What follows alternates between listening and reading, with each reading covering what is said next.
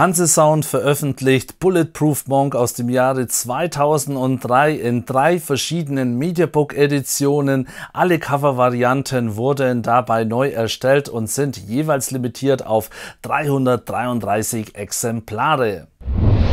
So viel mal zur Theorie. Wir gucken uns selbstverständlich die Mediabooks im Einzelnen nochmal genauer an. Wir haben hier Covervariante C, hier haben wir Covervariante B und hier haben wir Cover-Variante A noch original verpackt und mit dem starten wir selbstverständlich auch.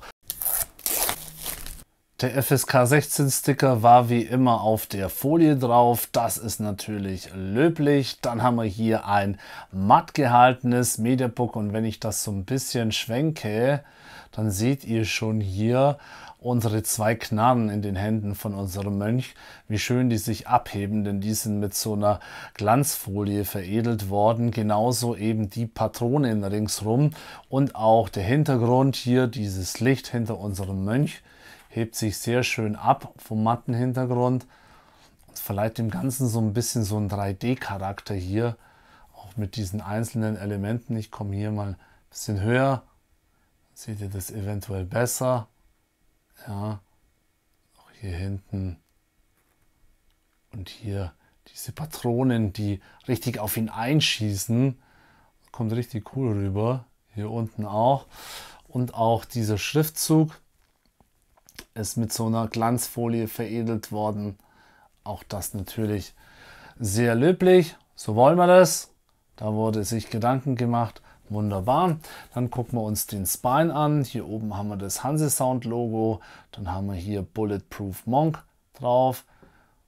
Und drunter haben wir nochmal so eine Patrone, die sich ebenfalls hier, wie man sehen kann, schön abhebt. DVD und Blu-ray Disc Logo. Das einzige, was man hier vielleicht monieren könnte, ist, dass eben vom Hintergrund dieser blaue Streifen hier noch nach vorne ein bisschen mit reinschaut. Aber wenn das das einzige ist, was man findet, dann passt es doch eigentlich. Dann haben wir hier eben diesen blauen Balken, erstmals als limitiertes Mediabook mit DVD und Blu-ray Disc inklusive einem 28-seitigen Booklet. Bulletproof Monk, der Schriftzug hier ist wieder mit so Folie, Glanzfolie drauf. Das sieht man hier auch ganz gut. Wunderbar. Dann haben wir eine Inhaltsangabe, ein paar Set-Fotos. Darunter haben wir die Credits. Außerdem natürlich die technischen Spezifikationen. Hier beim Ton ganz wichtig, DTS HD Master 5.1, deutsche Tonspur und auch deutsche Untertitel. Und ganz unten links haben wir dann noch die Limitierungsnummer. Limitiert, wie gesagt, alle Cover-Varianten auf 333 Exemplare. Und hier haben wir auch die Nummer 333. Jo, so viel einmal äh, dazu. Dann machen wir das Ganze auf. Haben hier dann eben eine schön gelabelte Disk. Das dürfte Cover Motiv C sein. Wunderbar. Darunter haben wir auch einen schönen Innenprint. Der ist sehr farbenfroh, sehr scharf, gut bedruckt. Sieht man auch nicht so oft.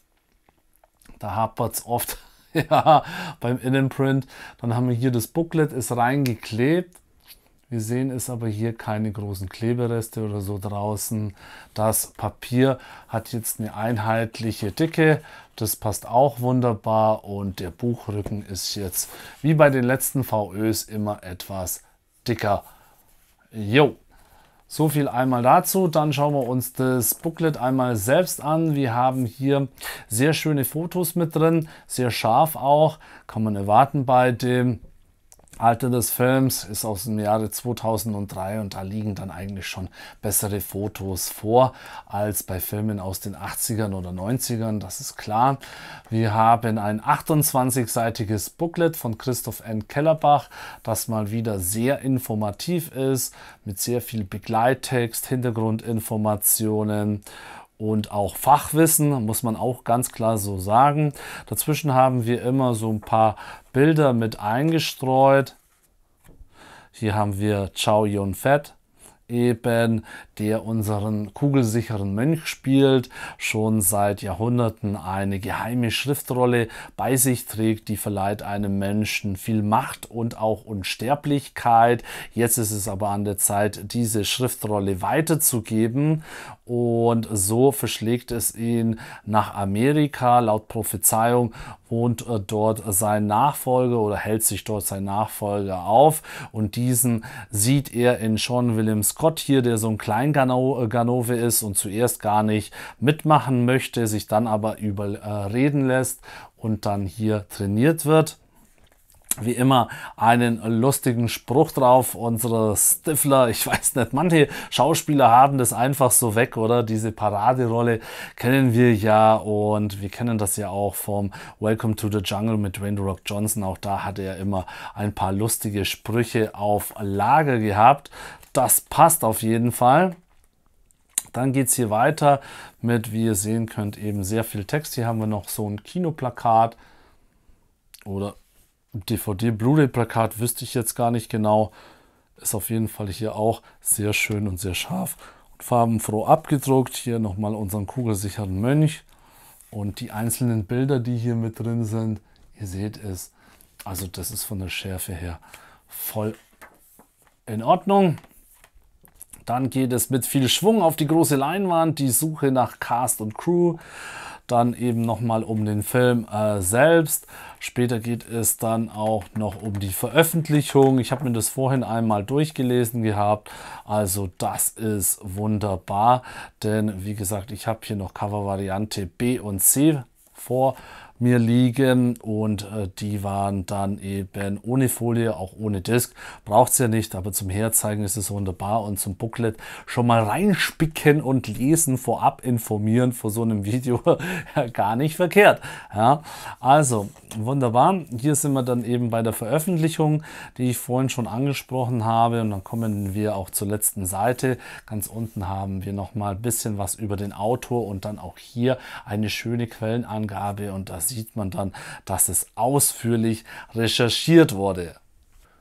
Dann kommen wir hier zur letzten Seite unseres Booklets. Hier haben wir noch Markus Jean Pirey als Mr. Funktastic drauf. Ja, und da haben wir dann auch noch eine schön gelabelte DVD. Das entspricht der Cover-Variante B. Und darunter haben wir nochmal einen schönen Innenprint. Das Ganze ergibt eigentlich auch ein schönes Bild hier zusammen. Und auch der ist wunderbar scharf, farbenfroh, so wie das sein muss. Dann kommen wir hier zur Cover-Variante B und auch hier können wir sehen, dass so eine Glanzfolie mit drauf ist und hier rund um unseren Mönch geht. Sieht echt cool aus. Vor allem die Farbe Blau, meine Lieblingsfarbe. Und wir sehen das, wie das sich so spiegelt im Softbox-Licht hier drumherum. Hebt sich auch wieder sehr schön ab von unserem matten Hintergrund. Auch der Schriftzug hier ist mit so einer Glanzfolie versehen. Auch das passt wunderbar. Einziges, was vielleicht den einen oder anderen stören könnte, ist, dass der ähm, äh, Titel hier Bulletproof eben diesen Bindestrich drin hat. Ich finde, es sieht optisch aber eigentlich ganz gut aus, hat man gut gelöst. Und hier das Ö von Mönch, ja, das kommt sehr nah an den Strich dran, aber gehst du weiter runter, dann hast du hier zu viel Abstand. Also irgendeines Todes muss man sterben sozusagen. Aber ich finde, das geht im Großen und Ganzen designtechnisch eigentlich schon noch richtig in Ordnung. Und wie gesagt, hier dieses Bild und dieses Covermotiv kommt richtig gut rüber. Dann haben wir hier den Spine, Hanse Sound Logo, Bulletproof Monk, DVD und Blu-ray. Dann haben wir hier die Rückseite und die Rückseite unterscheidet sich auch wieder von Cover-Variante A und auch von Cover-Variante C. Das können wir dann gleich noch vergleichen. Wir haben hier oben nochmal den Schriftzug mit dieser Glanzfolie und hier auch die Bilder, ja. Ihr seht es hier, die Szenenfotos, die sind anders ja, und heben sich auch eben durch diese Glanzfolie nochmal ab. Das haben wir hier nicht. Kann man so zu vergleichen. Ja. Hier seht ihr das nochmal andere Bilder, einmal mit Glanz, einmal ohne Glanz. Also hier wechselt man schön ab, das finde ich cool und hier unten ist dann noch Cover-Variante B. Außerdem, was richtig schön ist, ist, dass man hier auch andere Innenprints hat als bei den anderen Cover-Varianten. Und hier haben wir dann nochmal Jamie King im Innenprint. Wunderbar. So viel einmal zu Cover-Variante B. Und dann haben wir noch Cover-Variante C hier. Und auch hier haben wir so eine Glanzfolie, wie wir sehen können, über unsere drei Hauptprotagonisten. Und auch hier über diesen Titelschriftzug. Der Druck auch hier sehr gut. Wunderbar. Gucken wir uns den Spine an nochmal alles. Ja, auch hier diese kleinen Streifchen mit drauf, aber ich denke, das kann man schon verschmerzen. Ansonsten auch hier der Aufbau etwas anders gestaltet und wir sehen es, wenn ich es schwenke, hier haben wir über diese Explosion eben diese Glanzfolie an den Bildern wieder nicht. Also es unterscheidet sich immer. Andere Fotos, anderer Aufbau, andere Glanzfolienverteilung. Also das ist doch eine tolle Sache. Und hier unten haben wir dann Cover-Variante C. Und dann machen wir das hier noch auf und dann haben wir hier Sean William Scott noch. Und hier hinten auch nochmal Jamie King. Schöne Porträts hier. Wunderbar. Jo, also demnächst verfügbar, je nach äh, Shop. Die einen haben es früher, die anderen haben es ein wenig später. Aber auf jeden Fall Ende Juli, Anfang August ist jetzt Bulletproof Monk verfügbar im Mediabook in drei verschiedenen Cover-Varianten. Links dazu, falls ihr euch dafür interessiert, findet ihr unten in der Videobeschreibung. Das war's von meiner Seite aus. Ich bedanke mich fürs Zusehen. Auf bald, meine Freunde, und Servus.